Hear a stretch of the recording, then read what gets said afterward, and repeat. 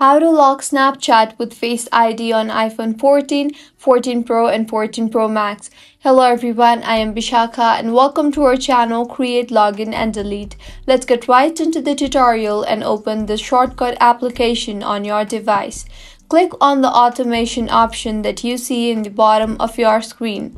Now click on the plus symbol on the top right of your screen. Scroll down and you will see the option for app. Tap on that and now click on the choose option.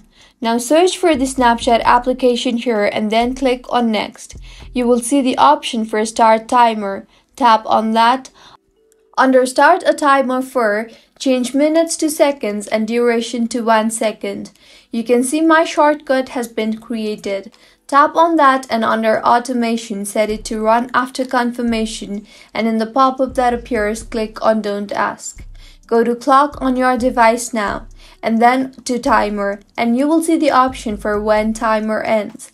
Tap on that, scroll down and you will see the option for stop playing. Tap on that and click set.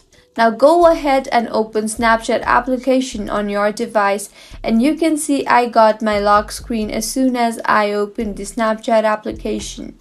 If you find this tutorial helpful, do subscribe to our channel. Thank you for staying with us until the end.